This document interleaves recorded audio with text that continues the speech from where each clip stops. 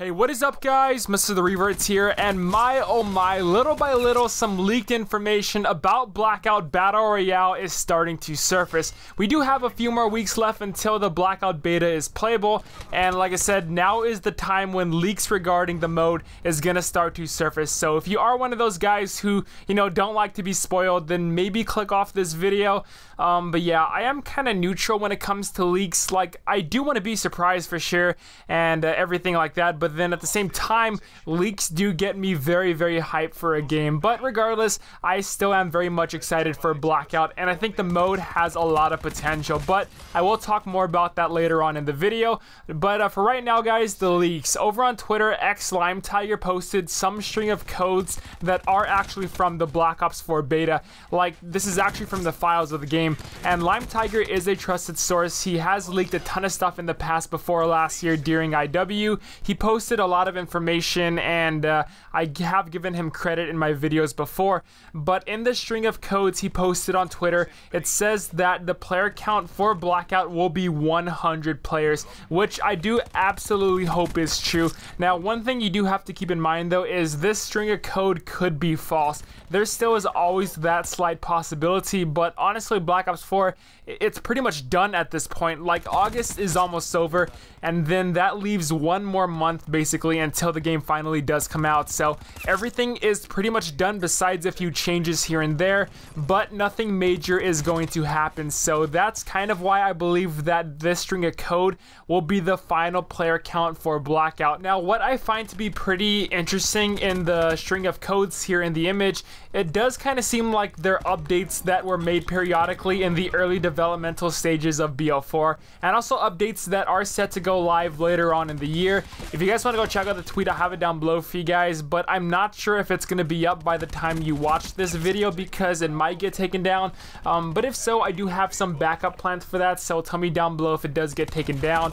There are a lot of other things here in this string of code, such as how players are gonna are gonna launch basically when the game starts. They are gonna be dropping down via a parachute, kind of like Fortnite and uh, and PUBG a little bit. So uh, I guess Black Ops 4 Blackout, it's gonna follow the same little pattern there, which I do honestly prefer. I think it adds a lot more tactical play for um, Battle Royale instead of just, I guess, selecting where you want to go on, on a map or something like that, or shooting down a tube kind of like the Battle Royale version of, of Call of Duty for the Chinese version. So yeah, I do like the parachute a lot more. Now there is one more thing I'd like to mention, and that's there are some more maps in this text code, but I don't know if they are going to be playable maps when the game does come out um, because they might be turned into DLC maps. We did see this happen last year with World War II, where there were other maps in the game files, but then they were released as DLC. Again, the same thing could happen with BO4, but I'm still not entirely sure. We shall see what happens, guys.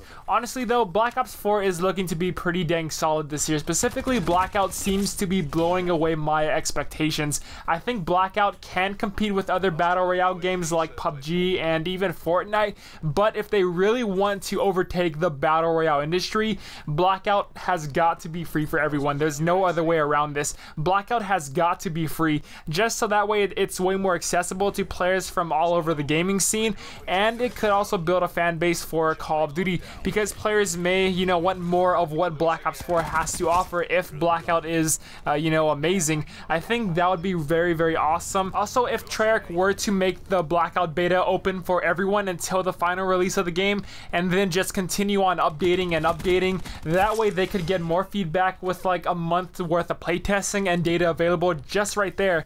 That would be a very good decision, and then make Blackout free for everyone, and you know, just sell skins and whatnot on the marketplace. Like after collecting all that data and feedback, you can mold and shape Blackout into this amazing battle royale mode, and then players, you know, can continue to buy DLC items off the store because they're going to be saving $60 because they're not actually buying the game. But then later on down the line, maybe if they want to play what play the rest of BO4 and see what that has to offer, then they can buy the game for the multiplayer and zombies. That right there would pretty much be able to compete with Fortnite in my honest opinion. That's how Blackout can compete with Fortnite, but I'm not sure if Treyarch is going to follow down that line.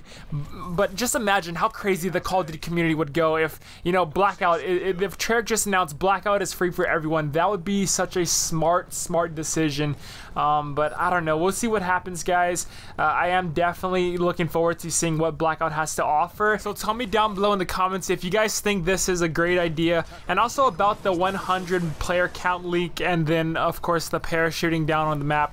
Tell me your thoughts about this down below in the comments, guys. And thank you so much for watching. I love each and every one of you guys. I really do appreciate your support over Black Ops 4. I promise I'm going to continue on uploading uh, the best Call of Duty content that I can for Black Ops 4. I'm going to make this the best year I can on YouTube, guys, I promise. And yeah, thanks for watching, guys. I love you all again, and I'll see you next time. Peace out.